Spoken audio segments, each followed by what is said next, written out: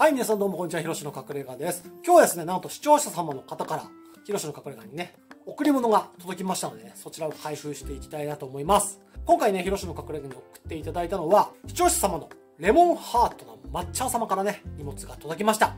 レモンハートのまっちゃん様はね、一番最初にヒロシの隠れ家にね、ウイスキーを提供してくださった方です。本当にね、ヒロシの隠れ家を昔からね、応援してくださってる方で、本当にね、感謝しております。レモンハートのまっちゃん様にね、ありがとうございます。では、早速、荷物の方をね、開封していきたいなと思います。今回、視聴者様のレモンハートなまっちゃん様より届いたお荷物がですね、こちらじゃんかなりでかいですね。何が入ってるのか。ちょっとこれからね、開封していきたいと思います。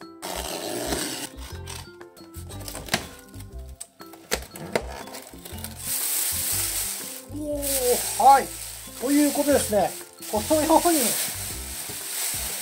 すごい立派なですね。たけのこですね。今が旬の。たけのこがね届きました。まっちゃん様本当にねありがとうございます。ちょっとねこのたけのこ料理してこのたけのこ料理に合うウイスキーをね選んでペアリングねしていきたいなと思っています。まずはですねこのように水煮にねしてみました。そしてね今度はこのように油でね天ぷらにしていきたいと思います。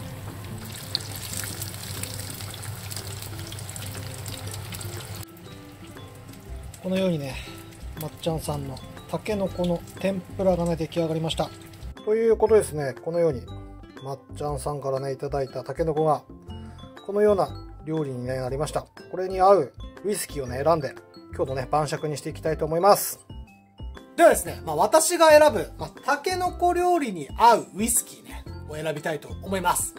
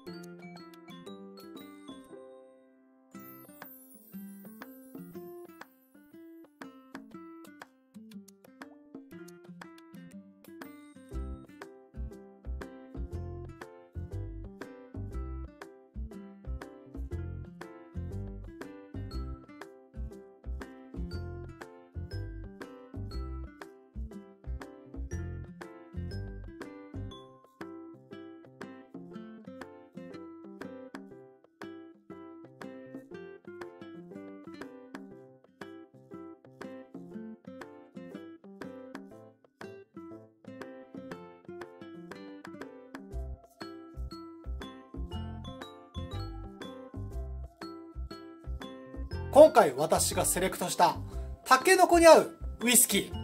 それはですね、こちら。じゃん。キリンのリク。こちらをね、今回はセレクトさせていただきました。まあ、なんでね、このリクをセレクトしたかっていう理由なんですが、まあ、タケノコって結構このトウモロコシ感が私には感じられるんですよね。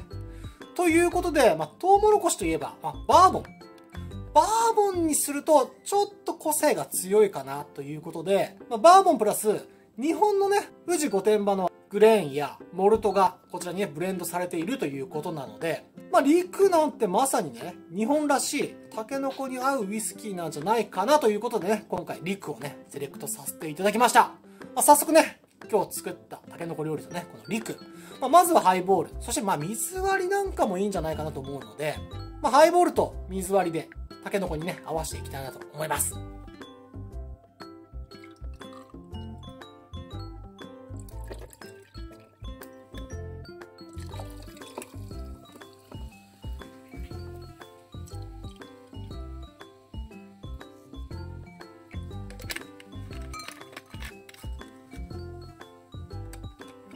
それではですね、今日はこちらのね、リクのハイボールと水割りをね、作りましたので、このね、リクのハイボールと水割りをタケノコ料理に、合わせていきたいなと思います。まあ、まずはね、ハイボールを少し飲ませてください。では皆さん、今日も一日お疲れ様でした。いただきます。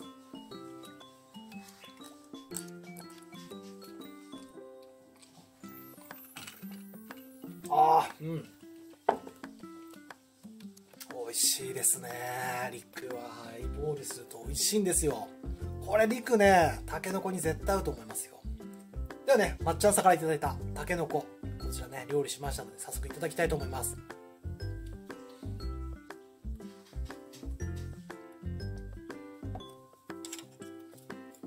いただきます。まずはですね、まあ、天ぷらからちょっといただきたいと思います。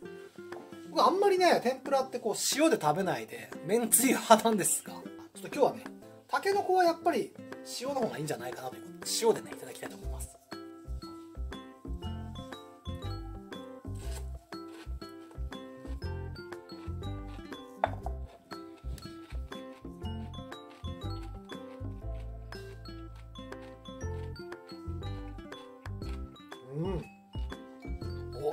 ですね。まっちゃんさん美味しいです。多分ね取れたてそのまま送ってくれたので全然塩味がないですね。すごく美味しいです。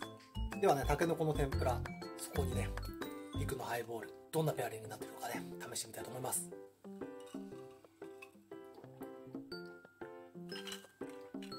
あうん。合いますね。やっぱり合いますよ。陸のね富士御殿場蒸留所の和のテイストとやっぱりこのアメリカンバーボンの、ね、テイストも少しあるのでかなりね邪魔せずに両方のねうまみを相乗効果でね引き出し合ってますね。これは美味しいですね。本当に美味しい。つかまずやっぱりこのたけのこが美味しいですね。うん。うん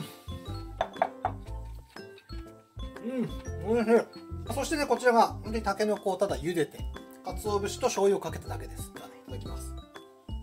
こういうのがね一番美味しいんですよね。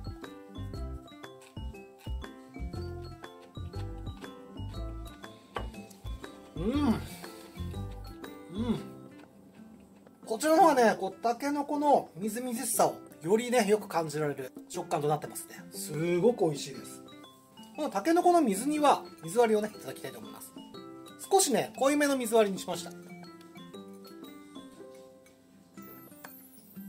ああ美味しい。これは最高ですね。やばいですね。これはどんどん進みますね。これすごい合いますね。たけのこの水煮と陸の水割り最高合います。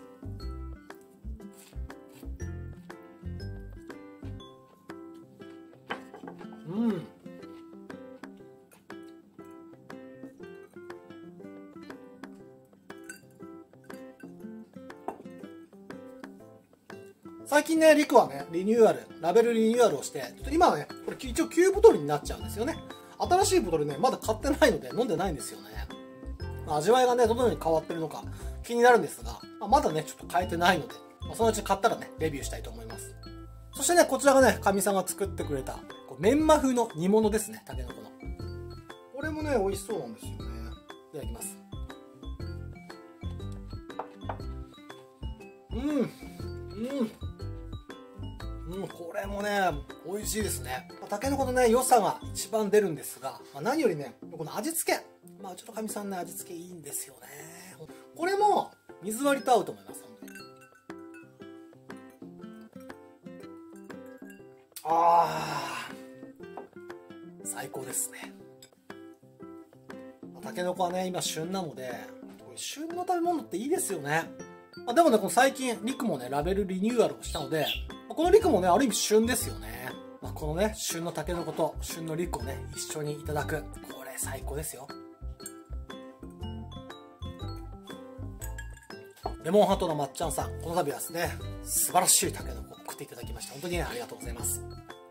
ぜひね、まっちゃんさんも、タケノコ料理、キリンのリクとね、ペアリングして食べてみてください。まっちゃんさんのタケノコと、キリンのリク、最高に合いますよ。